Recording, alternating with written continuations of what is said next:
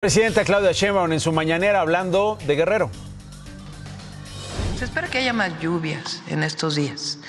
No es eh, de la gravedad de hace unos días del huracán John, pero hay que tomar las medidas preventivas necesarias. Acapulco es en Guerrero en general. El día de hoy nos vamos a reunir de nuevo.